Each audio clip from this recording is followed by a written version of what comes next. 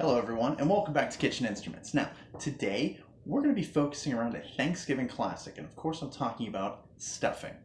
Now, whether you call it dressing or stuffing, for some people it's just plain intimidating. So today I'm going to show you just how easy it is to make your own homemade stovetop stuffing. Now, I'm going to tell you right now, it's a lot easier than you think. Don't believe me? Give me a couple minutes, I'll show you. Let's do this.